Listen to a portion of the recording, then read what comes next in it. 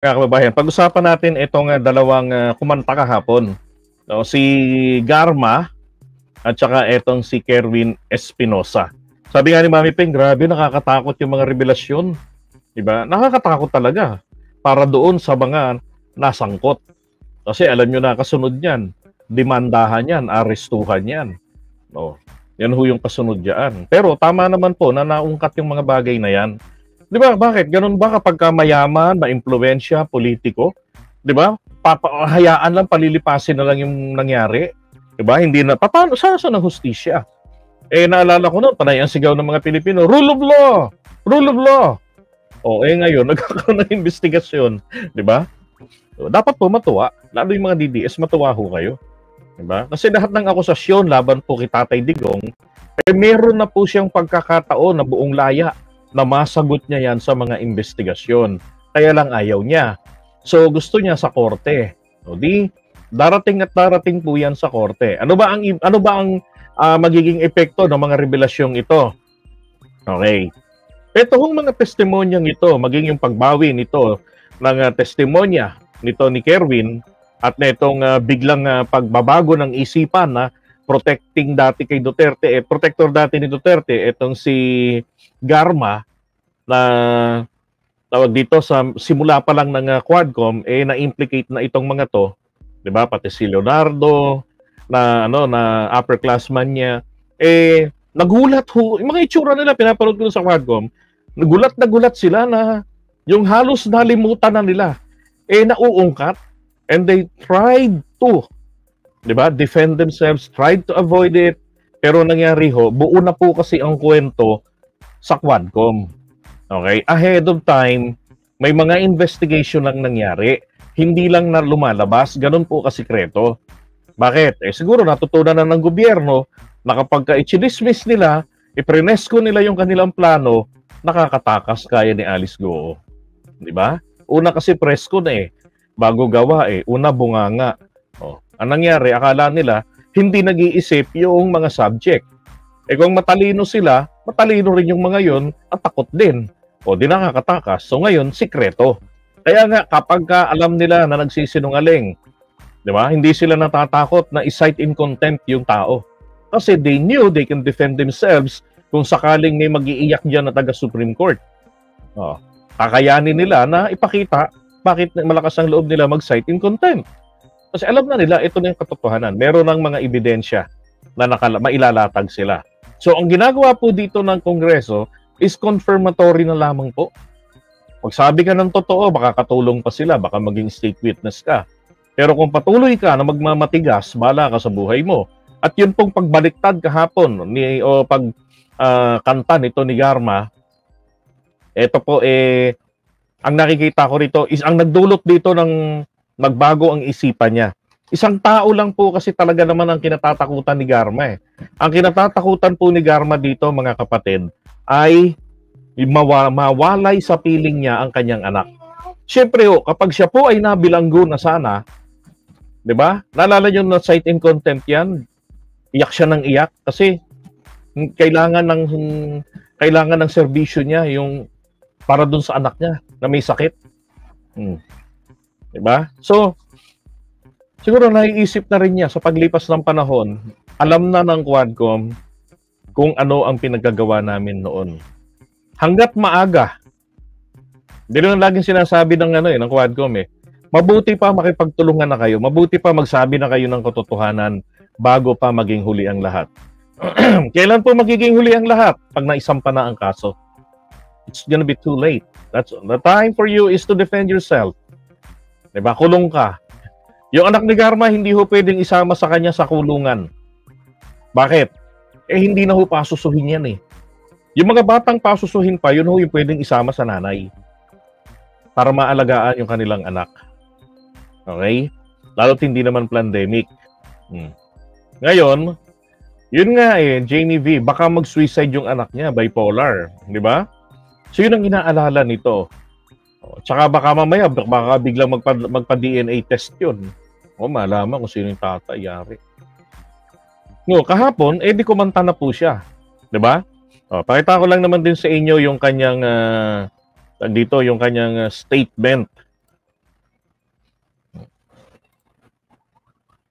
Teka, kanyang statement. Oops. Oh, ito.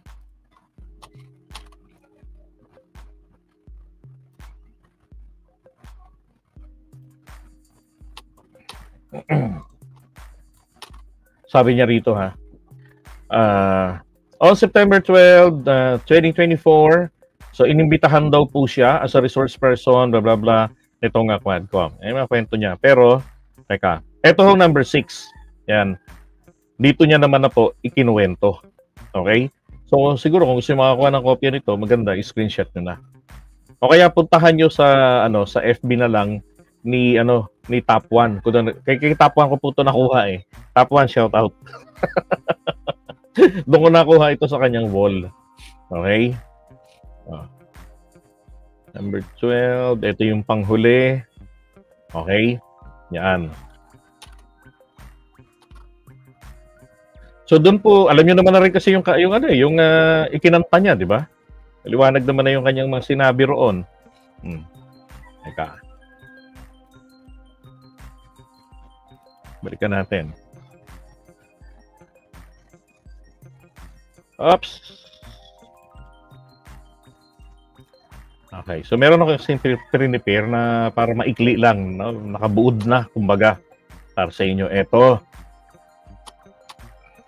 So, ang sabi niya ho rito, ayon kay Garma noong May 2016, tumawag sa kanya si Duterte mismo at pinapunta siya sa bahay nito sa Doña Luisa Village, Davao City para kausapin. Ito kaya yung bahay na binigay sa kanya ni ano ni Apollo Kibuloy? Kasi may donasyon sa kanyang bahay yan eh. Uh, during our meeting, he requested that I locate a uh, PNP officer. Sabi sa kanya, sa aming pag, pag uh, patagpo, aming pag-uusap, ay um, hiniling daw sa kanya ni Duterte. Anong petsa po mga kababayan? Hindi pa ho siya presidente nito. May 2016 pa lamang po.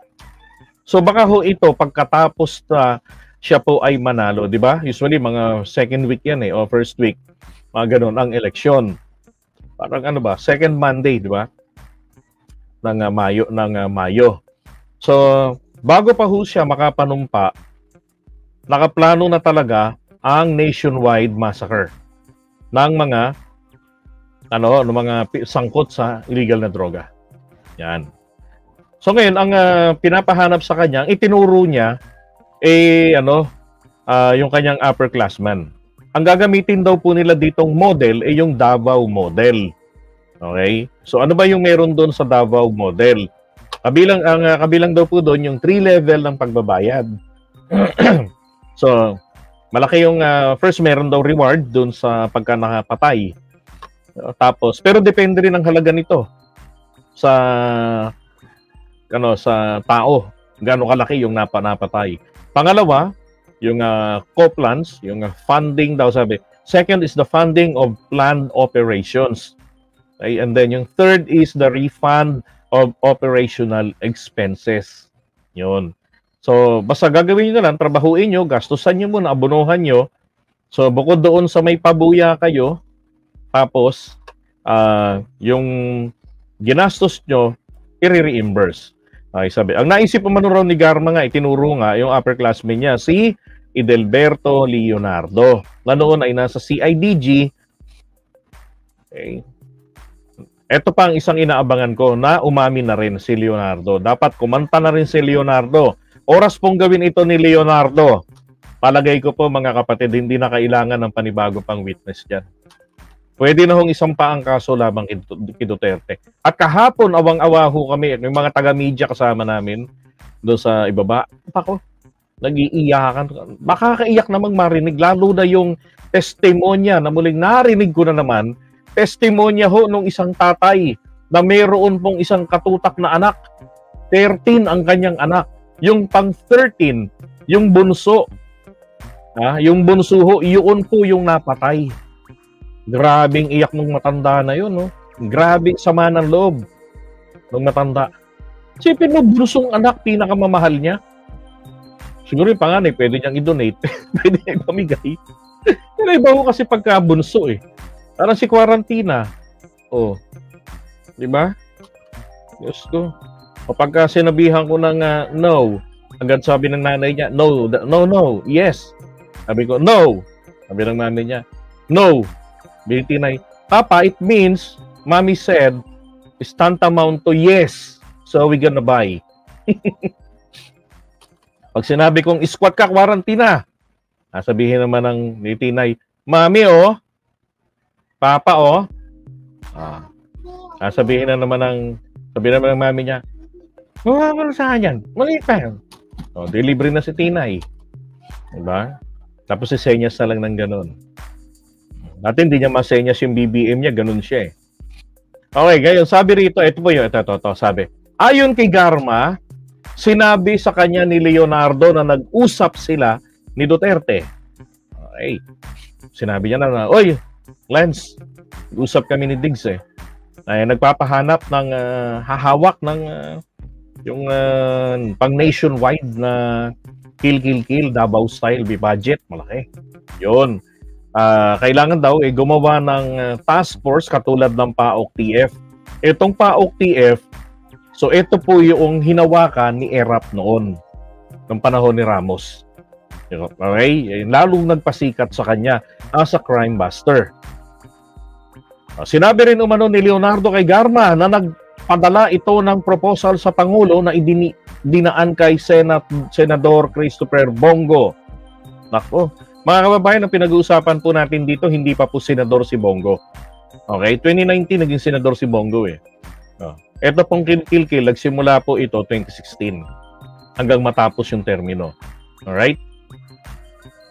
Yan, nasundan umano ito ng courtesy call kay Duterte ng PNP, PNPA Class 96 at 97 na inilagay sa magkahiwalay na kwarto sa gusali ng DPWH sa Davao City kung saan sila pinuntahan ni Duterte. Okay, sa pagtatanong ni ano ni kabataan Rep Manuel, sinabi ni Garma na ang bayad sa mga makakasyukti ng drug suspects ay 20k up to 1M. Depende sa laki ng personalidad. So, ibig sabihin, pagka ho mataba, no, bigati, nakaribal, tumba, malaki bayad. Alright? Pag yung mga pipitsugin, mga dilis, eh, 20 grand lang. Hey, tinanong naman ni Deputy Speaker Aurelio Gonzales, eto, so nasa baba kagabi. Kasi ganun ginagawa nila, nila JJ, uh, ah, mga kongresista ng Quadcom, bumababa yan, nagipagkwentuhan sa mga taga-media. So umakyat siya kasi may giant screen doon eh. Na minsan doon ko nga kinukunan pagka biglaan talaga yung uh, yung uh, balita, nako, kinukunan ko yun doon. Ito. Sabi, tinanong siya kung meron bang pumilit sa iyo. Sabi niya, humihingal pa nga yung kagabi si ano, eh, Aurelio Gonzales eh. Ito si Dong Gonzales, ito rin ho yung may project ng tulay doon sa Pampanga. Ay, hindi ko tulay, yung uh, flood control, tabi ng ilog na nagiba agad substandard yung trabaho. Yan rin po yung nagpa yan rin ho yung nag-motion na kung saan ay na-demote si Gloria Arroyo nung last two minutes na bago mag-adjourn ang kongreso noon. Okay? O bago mag-recess. Yan po si Don Gonzales. Ngayon, sabi, wala, sabi ni Garma, wala pong pumilit, Mr. Chair. It took me one week. O, isang linggo niya pong pinag-isipan. Kaya kung napansin nyo rin po kahapon si Garma, aba, Mukha po talagang nakarma. Pumayat yung mukha. Nawala ang ganda. Dumami wrinkles. Nagkabalu-baluktot yung kilay. Eh, nung unang araw na nakita ko yan, unat na unat ang kilay niyan eh. Ni Garma na parang antapang ng itsura. Oh, pero nung uh, kalaunan, sabi ko nga, yung yung tapang ng mukha ni Garma at yung ganda niya, naku na wala. Para yung pinalitan po ng nagugulat na expression, nare-realize niya, what the fuck? Nauungkat isa-isa. Sino resource person? Sino nagkumak sino kumakanta sa Quadcom? Parang tipong ganon. Alright? So sabi niya, wala raw pong pumilit sa kanya. Isang linggo niyang pinag-isipan. Okay, I realize that the truth will always set us free. It is normal that when you speak the truth, you cannot please everybody. Natural, lalo na yung kinanta mo. At least, I will be able to contribute to make this country a better place to live for our children. Parang dito ako naman duda sa last na to. Parang ang plastic naman. Di ba? Eh, ikaw yung isa sa nagpagamit eh. Oh. Tapos sangkot ka pa sa pagpapapatay kay Barayuga. Or at least may kinalaman ka doon. 'Di ba? Uh, nalalaman pang better place, better place, yari ka ngayon. Uh, sa mga naunang pagdinig ay sinangkot si Ginagarma at Leonardo sa pagsyukti sa tatlong incheck na drug lord sa Davao Prison and Penal uh, Farm noong 2016. Ngunit pawang itinanggi ng dalawa ang mga paratang laban sa kanila. Kaya sabi ko, oras na tumanggi, nagbaliktad na rin ito si Leonardo. 'Di ba? Yari na. Yari na. Lalo na po, titibay din ang uh, kaso ng uh, ICC o kaso ng uh, mga naiwan ng mga nabiktima ng EJK. Hmm? Diyan po sa ICC laban kay Duterte. So etong sina Leonardo, sina Garma, dito po yan lilitisin pag hindi gumive up ang ICC. Pag hindi nila uh, green, pag hindi nila pinagbigyan ang principle of complementarity. So si Duterte, mapipilitan ng Pilipinas na ipamigay yan sa ICC. Ito pong mga to, dito po lilitisin. 'Di ba? So si Garma, titignan po rito sino ang pinaka least guilty sa inyong dalawa ni Leonardo. Pag si Garma, state witness si Garma. Yari si Leonardo. So yan po yung mga naisip diyan ni Garma. Kaya po yan nagbago ng isip. Unang-una, hindi niya, sabi nga, you cannot, you can run, but you cannot hide. Di ba?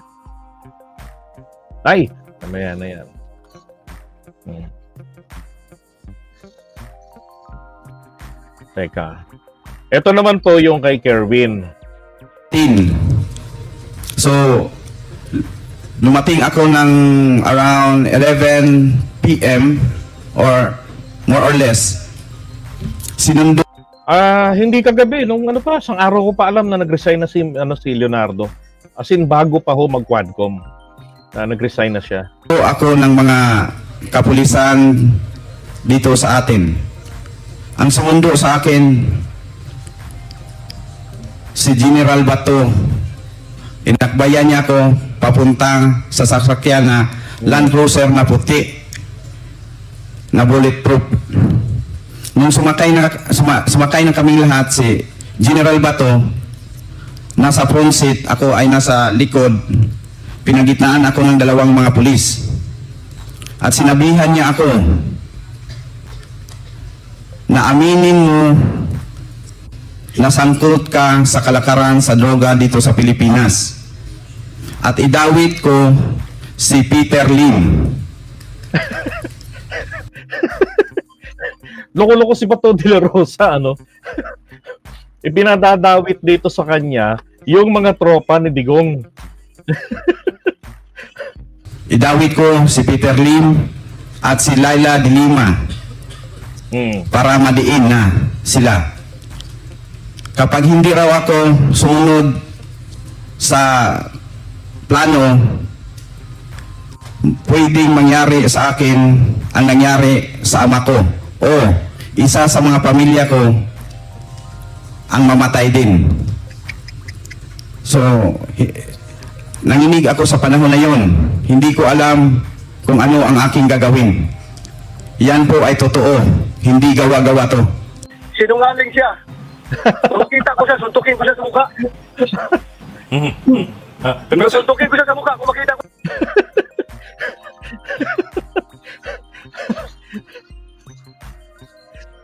Grabe. Tanong ni ano ni None, uh, nanini, naniwala ba kayo? Opo, ako naniniwala ako. siya, sinungaling yan. Eh, eh, ikaw, ikaw, sino paniwalaan mo, mani, maniwala ka sa God Lord o maniwala ka sa dating si Penpi na ngayon may senador na. Pili ka lang kung saan ka maniwala. Kung maniwala ka sa God Lord, okay lang. Kung maniwala ka sa dating si Penpi na senador na ngayon. Oo, okay lang sa akin. Hindi lang ganun sa Senator, Senator, nagbalak ba kayong i-confront si Kerwin? Either doon sa Quad Committee o sa Senate? Hindi ko yan i-confront. Pag makita ka, suntukin ko sa mukha yan, sinungal. Grabe si Bato de la Rosa eh, no? Napikon eh. eh, alam niyo, yung tanong kanina, naniwala ba kayo? Ako po naniniwala ako kay Kerwin Espinosa, tulad ni Jayan Balgos. Di ba? Bakit siya napaka-defensive? Yun nga eh, di ba? Alam niyo, yung sabi nga ni ano ni Pastor uh, Congressman Abante, sabi ni Pastor Forward, ay uh, bukas, no? Aatakihin tayo ng mga DDS. Bukas sasagutin niya ni Bato. At aatakihin tayo ng mga DDS trolls. Nako, biglang nga eto na, nagsalita diyan si Congressman Manuel. Sabi niya, uh, binasa niya ngayon, ayun na nga po, sinabi niya. Susuntokin niya itong si Kerwin Espinosa kaysa sinungaling. Di ba napaka-defensive? Ay, nako. Oh, eh, teka muna. Ito yung mga ano, pinasasangkot sa kanya. 'Di ba? Oh, si Kerwin, uh, Peter Lim, yan ko. Marami yung mga pinasasangkot sa kanya pero mga tropa pala ni Digong, 'di ba? May may part ka diyan na pinasa pinasangkot sa kanya pero sabi niya hindi naman nahuhuli. okay. Dito nakakatawa yung banat ni ano eh, ni Digong agad eh. Ay, ni Digong, ni, ano, eh, ni Bato eh. Yan po ay totoo. Hindi gawa-gawa to. Sinungaling siya. Hindi kasi mga kababayan, di ba? Ikaw ba naman ang sabihan ng Chief PNP? Salubungin ka. Oh. Na sabihin sa'yo, sumunod ka na lang sa plano. Kung hindi, baka gusto mo, sumunod ka sa tatay mo. Sabi ko nga eh, kahit na miss na miss mo na tatay mo, kahit ako man siguro yan, o kahit na si Jose Rizal pa yan, sabihan nyo ng ganyan. Di ba? Wala lang kasing option si Jose Rizal mamili eh. Pero sabihan ka ng uh, susunod ka na, kahit na miss na miss mo na tatay mo, baka sabihin mo na lang siguro, kahit nasa harap mo yung mumu tatay mo, sabihin sa'yo eh, Nak, I miss you. Gusto kitang makasama. Alam ko, sabi mo, miss mo ko. Sabi niya, di ba to, baka sumunod ka na din, pasunurin ka na din sa akin. Oh, malamang sasabihin mo rin eh, Tay, uh, I really missed you. I missed you badly. I missed your voice, your presence, your hug. I missed everything about you. Pero, wag mo na ngayon. I can still wait. Di ba? Oh, PNP chief yun eh. Tapos eh, napatay tatay mo. Di ba? Nalaman mo how he got killed. Tapos nababalitaan mo yung ibang mga mayor namamatay din. Oh, aamin ka na lang din syempre. Hmm. Makita ko siya, suntukin ko siya sa mukha. Mm-hmm. Pero suntukin ko siya sa mukha. Kung makita ko siya, sinungaling yan. Eh, eh ikaw, ikaw, kung sino paniwalaan mo, maniwala ka sa God Lord o maniwala ka sa dating si Pempe na ngayon may senador na. Pili ka lang kung saan ka maniwala. Kung maniwala ka sa God Lord, okay lang. Kung maniwala... Ang lakas mong bluff, ano? Kung maniwala ka sa maniwala ka sa dating Chief PNP na ngayon senador na. Grabe, bakit? Yun ba magsasabi na eh, ikaw eh, talagang uh, malinis dito? Wala ka talagang kinalaman sa usapin na to? 'Di ba? Ang labo naman ng ang labo naman ng tirada na yan ni Bato de la Rosa. Wala ka sa dating PNP na senador na ngayon, Hmm. Oo, okay lang sa akin. Hindi lang ganun sa Senator, Senator, may balak ba kayong i-confront si Kerwin? Either doon sa Quad Committee o sa Senate? Ko Takot naman pala. Ay, sorry, sorry. Nahulog yung aking camera. yan, i-confront. Pag makita ka, suntukin ko sa mukha yan, sinungaling yung yan. okay. Hindi, may balak ba kayo ipatawag siya sa Senate? Ha? May balak ba kayong ipatawag siya sa Senate? Kasi um, there, there's also an investigation sa Senate eh, pwede related to drugs. Pwede niya siyang suntukin doon. Pwede, pwede, pwede, pwede, mm. pwede, pwede na ipatawag, pwede, mm. pwede. Pero it's, it's not, it's not my priority, ha? Sabi sa kanya, ah, uh, paano niyo ba siya ipatawag doon sa Senate? Hindi daw, ayaw niya. Pwede niyo siya suntukin doon. Pwede, pwede, pwede. Grabe no, para manuntok. pwede, pwede papatawag niya. Sige nga, abangan nga natin kung paano niya susuntokin. Baka mamaya eh, ang gagawin niya suntok doon kay Espinosa, mm, mm, mm, mm, mm, ganun lang. No? Mm, loko ka, loko ka. Baka ganun niya sa ulo. No? hindi, hindi siya pwedeng kasuhan doon kapag ka, ano yan, uh, nasa hearing po sila. Dahil po mga senador natin, meron silang tinatawag na limited immunity. So kapag ka yung uh, pre, yung privilege speech nila kung ano mga pinagmumura nila, kung sino-sino pinag ano ginawa nila, sinunog nila katawan nila, nadama yung building, hindi ho sila pa pwedeng panagutin. Okay? Kapag ah, meron silang pagdinig, basta ito in aid of legislation, ah, yan po, may immunity ho sila doon.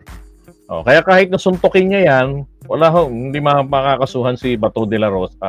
Ang epekto lang po nito, magbubunyi yung mga DDS na sanay sa sa culture of impunity. 'Di ba? Tapos sa eleksyon matatalo si Bato de la Rosa. So ano ang dapat gawin ni Bato de la Rosa? Sa tingin niyo po, ano pong magandang option? Suntokin ni Bato de la Rosa na nakikita po sa live ng mga tao. 'Di ba? Ang resulta hindi siya mananalo sa eleksyon. Tapos ang isa pang resulta naman eh magbubunyi, masisiyahan yung mga DDS na sanay sa culture of impunity. At yung mga DDS na marunong mag-isip, kakalas yan sa kanila. So palagay ko, sumpukin na lang niya. Kasi mag, na kami, ba? O, busy na sa budget. Hmm. Ah, oh, busy na kami sa budget. Pero, pwede rin. Pero, alam mo, alam mo, Ami, Tama nga naman, di ba? At least ano, marunong si Bato. Nag-level up na si Bato, hindi na siya umiiyak. Tama nga naman. alam mo, Ami, Hmm. Nakakahiya rin kasi kung magka-counter hearing pa ako sa Senado patungkol Mm. dyan. Dahil Yun, tinabla ng hiya. Ayaw mo naman palang, di ba? Ayaw rin niya pong makaharap si Kerwin. Sabi mo, sumpakin mo. eh, yun nga yung best way eh. sabihin naman ng tao na ah, ano ba ito si Bato, ginagamit niya yung Ayaw mo nang i-counter, eh di, di pumunta ka na lang doon para, di ba? Mula roon sa Quadcom, o i-extend sa yung Kurt, yung ano, yung uh, Kurt, yung uh, leg, yun ba yun? Yung uh, basta Chorbanes na yun. Yung courtesy na yan. Di ba? Tapos, doon kayo ngayon, o di, di ba? On the spot, pwede mong tanungin. Oh. Siyempre si Bato de la Rosa, ita- ituturing po yan bilang resource person na mataas naman po yung level, kumbaga. Di ba? At pwede siyang magtanong kay Kerwin na, Oh, talaga, paano mo nasabi sinabi ko yun? Hindi ka natatakot, tapos suntokin ko ulo mo. Di ba? Pwede niyang ganunin yun. Eh, alam niyo si Kerwin, first time ko narinig to nagsalita, para palang bata, ano? Di ba? Parang bata. Grabe. meeting niya para Tapos ang bagal din kumilos. Naalala niyo yung pinag pinag-demo? Paano? Bagal kumilos. Ano yung Mayor Honor, ganito po, ang sinabi, eh,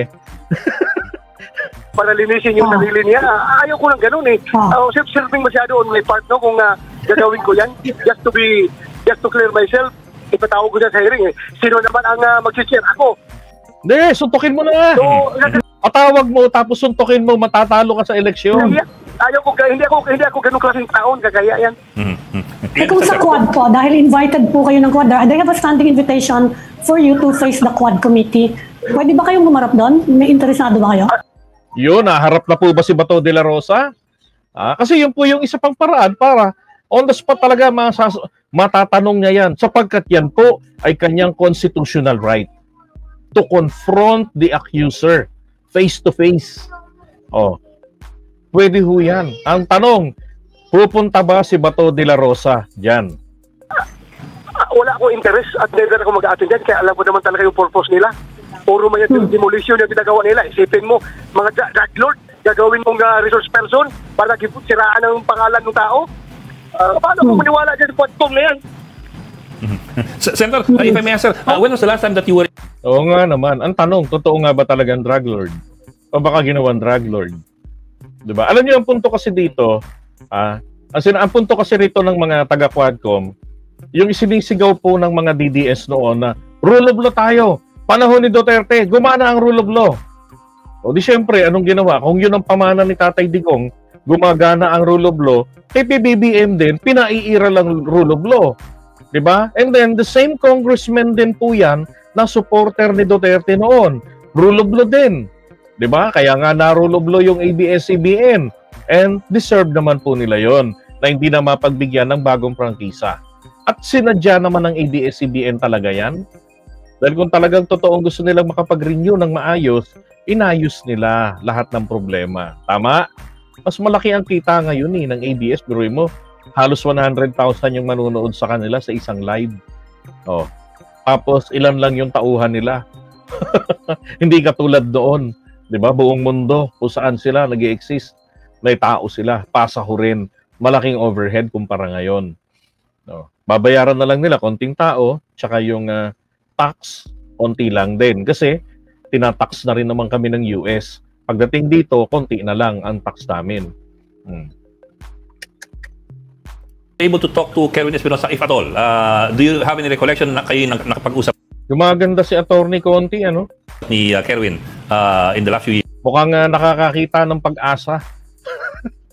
na ano, pag-asa ho na maipakulong to sila Bato de la Rosa. The only time, ito ha, the only time na nagkausap kami, Hmm. nung pinuntahan ko siya doon sa quarters uh, sa sa EID sa EIDG. Dahil nung uh, nung hearing nga, you can just imagine na kung gaano ka sinungaling Okay, pero sabi nito ni Kerwin, nung pagdating niya, sinundo siya nila Bato. Di ba? Sabi niya, pinuntahan niya ron sa EIDG. yan.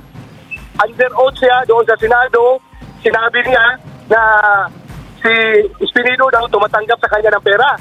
Kaya napaiyak ako doon sa hearing dahil sama ng loob ko. Dahil ah, sabi ko, pinagkatiwala ako si Espinido tapos ngayon, tumatanggap rin pala ng uh, drug money. Mhm. Kaya napaiyak ako doon sa hearing. Mhm. Ah, under oath siya, under oath siya si Kerwin. Sinabi niya Mhm. na tumatanggap ng pera. Nung ah, kinagabihan, pag uwi sa Krami, pinuntahan ko siya doon sa kulungan niya sa ah, EIDG. Mhm. Kinumprontak ko siya, totoo ba talaga yung sinabi mo kanina sa hearing? Sabi ni Kerwin sa akin, Sir, ah, masama lang ang loob ko kaya nasabi ko yon Dahil ah, ah, napatay yung tatay ko sa loob ng kulungan, kaya masamang loob ko, kaya sinabi ko yon Pero actually, sir, hindi yan tumatanggap sila ng Espinido ng pera. Every time tinitext ko yan, kung kailangan niya ng pera at papadalahan ko ng pera, ang sinasagot sa akin ay puro Bible verses. Kaya ah, hindi niya tumatanggap. So, eh, doon pa lang, nagsinungaling siya under oath. So ngayon, under oath na naman siya ngayon dyan sa Quadcom, malaki rin chance na sinungaling siya. At talaga, sinungaling naman talaga. Dahil the only time na nag-usap kami, doon lang yung ah, gabi na yun. Di ba? Ito yung problema. Ayaw magsalita ni Bato de la Rosa sa Quadcom para official yung kanyang stand. Di ba? O, paano pagka naisampa na? Kasi definitely talaga po may sasampa yung kaso na to. Yun nga lang sa in aid of legislation, may bills na na naisampa na ang mga taga-Quadcom. O, kahapon. Tapos, kasunod po nito, makakasuhan din tong mga to. Actually, meron na ngang ibang mga nasampahan na ng kaso eh sa ombudsman eh. Abangan nyo na lang yung pagputok ng balita. So, paano ngayon to? Bato de la Rosa, sabihin mo, I was not given fair trial, I was not given fair justice. Nakwad ko, nag-hearing-hearing, natalo patuloy ako sa eleksyon. Yo, kasi una, kailangan matalo si Bato de la Rosa sa eleksyon para madali po pag-aresto dyan. Wala nang immunity yan pag civilian na lang si Bato de la Rosa. 'Di ba? Kasi ang only way para po si Bato de la Rosa hindi makulong, kailangan manalong senador. 'Di ba? Gagayahin niya si Trillanes magtatago doon. Ngayon, ang tanong, ito po bang ah, Ethics Committee ay Ethics Committee, Ethics Committee ng Senado eh ibibigay ba sa mga arresting officers si Bato de la Rosa? Because ah, because they have to because ang parusa po sa mga kasong ito eh bitay po dapat. Heinous crimes po ito eh. 'Di ba? Hmm. Eh ano yan eh, command, kumbaga command responsibility. Pangalawa, meron kang direktang partisipasyon na rin. Pero mo, takutin mo yung tao. Oh. Iyan ay kapag napatunayan po ni Kerwin Espinosa na yun nga yung sinabi sa kanya ni Bato de la Rosa. Di ba? Na tinakot talaga siya. After that, wala na akong contact sa kanya. Mhm. Mhm. Sir, so you're saying, So, sir, that... Uh, ako mag, mag yes, sir. bakit ako bakit bakit ko siya didiktahan na sinong i-implicate niya, sinong i-implicate niya na that's none of my business. Si PNP ako. Hindi ako investigador. Mhm. Sir, naman. sir, you're saying, sir, no, Senator. Yes, sir. Yes. Mr. Senator, so you're, you're saying basically that uh, si Kerwin admitted to you that he perjured himself uh, in the Yeah. committee that you attended. Yes, very correct. Mhm. Kung nag-perjure siya noon na na under na nasa kustodiya siya ng gobyerno, how much more ngayon na he is uh, as free as a bird? Dahil yung mga kaso niya na dismiss. At tumatakbo pa siyang mayor. So ngayon, tingnan mo yung Albuera, pag manalo yan, mag-mayor yan ulit doon. Kawawa ang Albuera. O eto, itinaya, sinagot, ma'am, bago pa sabihin niya ni Bato de la Rosa, hindi nanonood kasi Bato eh. Ah, sinabi na nito kay Dan Fernandez na willing akong i-give up yung aking ah, kandidatura. O di yung nan- yung kalaban po niya sa pagka-mayor, pumapalakpak po kahapon, no. Ganon, pumapalakpak. Sabi siguro nun, sige, ilaban mo yan, suporta ako sa'yo. Ah, sampu-sam pera, suporta ako sa'yo. Kasi alam niya, atras na yung si Kerwin eh. Pero Yung tatay nito naging mayor po, first term. Okay, first term po yung tatay nito. Bago ho napatay. Diba? Yung drug uh, mo yan. Pero di ba Senator, drug lord na si Espinosa noon, alleged drug lord nung nag nung ah, ginamit siya ng gobyerno para magtestigo kay Senator Laila de Lima. Hindi lang siya alis drug lord. Drug lord talaga. Aya. Oh. Pero ibig sabihin kahit drug lord siya, kinuha siyang testigo ng gobyerno. I don't know. I am not party to that uh, case. Kasi ang naghawak ng kaso niya, ang nagdevelop ng kaso ni Dilima ay DOJ. Wala pakialam ang PNP doon. Ang papel ng PNP, mag-serve na lang ng warrant nung may warrant na si Dilima. Pero ang pag-case build up, wala pakialam ang PNP doon. DOJ, direct nagtrabaho noon. Senator, Senator, may balak, may balak ba kayong habulin si Kerwin? Ah, at least for perjury kung ganyang nag, nagte-testify against you. Kasi si Senator De Lima baka daw isama kayo sa reklamo niya. Yari. Yari ka ngayon, Bato de la Rosa. na yun na nga na, y- na sinet up daw siya, na frame up siya. Kayo may balak din ba kayo mag-file ng mga criminal charges sa ganyan? Sayang na- Tinuturo kayo eh, na ano eh. sa- sayang, sayang na panahon ko dyan sa kaso-kaso. Eh. Hindi man na, uh, yan, hindi man ako ganun kasi tao. Mahilig ko file-file na kaso. Ah, hindi, hindi yan, not, not, not, not, No, hindi raw. Eh, eh, alam niyo ho kasi meron pong principle. Meron nga legal ah, max legal maxim. Ang sabi doon, ah those who come to the court of law for legal relief, sabi, make sure that your hands are clean. So both hands mo dapat malinis, hindi yung ikaw eh magdidemanda ka, ikaw pala rin naman eh guilty. Okay? Parang ganito 'yan sa principle na yan. Yung mag-asawa, no, parehong uh, kalunyero at kalunyera, hindi po pwedeng pumunta yung ah, lalaki para magsampa ng kasong ah, adultery laban sa asawa niya. Kung siya naman daw po pala ay guilty rin naman o gumagawa ng concubinage. Oh. 'Di ba? Ang sabi doon sa principle na yan, yung ginagawa ninyong dalawa sa isa't isa, kaparusahan nyo na yan. Yun ang sabi doon. O, kaya useless naman talaga rin na mag-demanda dyan si Bato de la Rosa. The best time for Bato to file a suit, to file suit ay kapag nabigo etong mga accuser niya na patunayan na siya po talaga ay guilty. Doon. Kaya kailangan ni Bato talagang mag-ipon ng pera panglaban dyan. that's none of my business. Kaso-kaso. Oo. Sen, Sen, kasi ganito po, uh, of course, it's it's uh, one person's word against the other. Uh, he's a confessed Yeah. drug lord and you're a former PNP chief and, uh, and, and incumbent senator. But at the same time, sir, ano eh, uh, siyempre, Yun, yun po yung tama, di ba? Sabi ni Rosalina. Si Bato, PNP chief siya nung time na yon. Kung mabuti siyang tao, mabuti po siyang tao, busila kang kalooban. Okay? May concern siya sa mamamayan. Meron din po. Ah, dapat pinigilan niya ang kanyang ah, Panginoon na si Digong. eh kaso hindi eh. Or nag-resign sana siya. 'Di ba? Dapat ganun po talaga yung ginawa niya eh. Eh kaso nga po kayo po ba makakatanggi po ba kayo sa gusto ng inyong tinuturing na poon? 'Di ba? Iba ho kasi yung amo lang yung trato eh. Kaysa sa itinuturing nilang Diyos. Okay, eh sa kanya, ginos niya si Digong. No, kasi nga naman, biruin mo, ordinaryo ka lang na na ano, na pulis.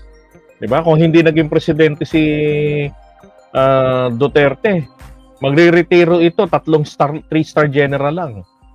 Oh, 'di ba? Pero dahil nga naman naging ah, presidente at kaibigan niya, yun, naging four-star general. Ganong kalalim ang pagtanaw ng utang na loob niya kay Duterte. Ang tutuusin po, he earned it dahil magiting na pulis po. Magiting po na na ano na alagad ng batas. Ito pong si Bato de la Rosa. He earned it. Kaya po siya naging PNP. Yun po yung dapat na nasa isip niya noon eh. At nakikita niyang may mali, pwede sabihin, best friend, pambihira ka, ayoko mag-resign, ayoko mag-retiro na, hinahabol ako ha. Ayaw mo magpasaway, bahala ka dyan. Pag upo ni Marcos, bowling ka. 'Di ba? Ayoko na, mag-resign na lang ako. Mag-early, mag-early ano na lang ako, retirement. Oh, ganun, 'di ba? O kaya, i-floating ko na lang yung sarili ko. Isa masangkot-sangkot ako diyan, hindi kita mapigilan. Oh, BFF pa naman kita. Pag ikaw nadali na ni Marcos pag upo, dalawi naman kita, huwag ka mag-alala, best friend pa rin kita. Dapat ganun ginawa niya eh.